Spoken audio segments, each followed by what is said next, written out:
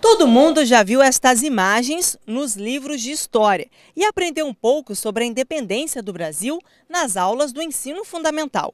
A independência foi a separação entre o então Reino do Brasil e o Reino de Portugal e Algarves. Em 7 de setembro, ocorreu o evento conhecido como Grito do Ipiranga, às margens do Riacho Ipiranga, na cidade de São Paulo. A quase 700 quilômetros de distância, temos o Rio Paraíba do Sul, que corta a cidade de Campos dos Goitacazes. Mas o que esta data representou para a planície Goitacá? Aqui na Vila de São Salvador tinha monarquistas a favor da família imperial, também tinha as pessoas que eram contra, sabe? Mas enfim, acabou que a monarquia, né, aqui na, na nossa Vila de São Salvador, aderiu mais o movimento de permanência do Dom Pedro I no poder.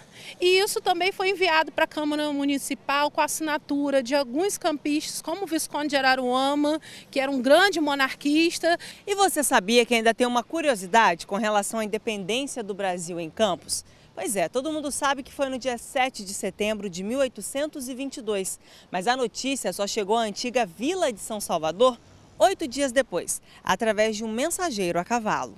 E ele entregou essa correspondência na casa de Câmara e Cadeia, aonde fica aqui a Praça das Quatro Jornadas, e ele veio a cavalo, né? As notícias não chegavam tão rápido como hoje, então a população só soube da independência do Brasil oito dias depois, a população da Vila de São Salvador. Desta época, ainda tem alguns prédios, como é o caso do Museu Histórico de Campos, e até mesmo da antiga Casa de Ópera, localizada no cruzamento das ruas Vigário João Carlos e Barão do Amazonas. Hoje funciona um estabelecimento comercial. Tem até placa em comemoração ao segundo centenário. E aqui foi um dos pontos comemorativos da independência. Tudo isso está relatado historicamente que esse centro histórico recebeu essas comemorações da independência do Brasil. E na economia, o que mudou após o período colonial?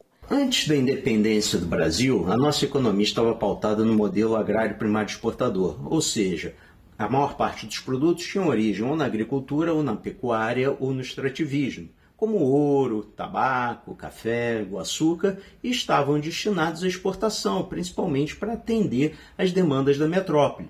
Essa economia também tinha sua força de trabalho pautada na escravidão.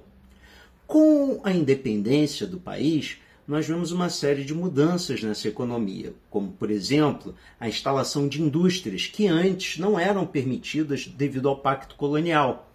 E isso gerou uma grande diversidade na economia brasileira, mas exigiu também do governo monárquico à época a adoção de uma série de medidas que pudessem enquadrar o país dentro dessa modernização econômica e dentro do modelo econômico capitalista que não mais cabia a escravidão, mas sim o trabalho assalariado. São mais de 200 anos de independência e, atualmente, de forma tradicional, são realizados os desfiles cívicos. Algumas instituições são convidadas, como é o caso da APAI. A gente pôde abrir o desfile, nós fomos a primeira instituição a desfilar e nós aproveitamos essa oportunidade para estar convidando todos os nossos usuários de todas as faixas etárias, desde menores das crianças até os adultos maiores de 18 anos. E nós convidamos também os familiares, os responsáveis, para que pudessem estar acompanhando e desfilando também com eles. Dos 370 assistidos, cerca de 30 vão aos desfiles acompanhados de seus familiares. E no ano passado, o Carlos Vitor carregou até a bandeira da própria PAI, do qual é usuário há quase 10 anos. É sempre uma honra estar junto, sabe? Tipo, fazer parte disso. Porque eu tô aqui por muitos anos.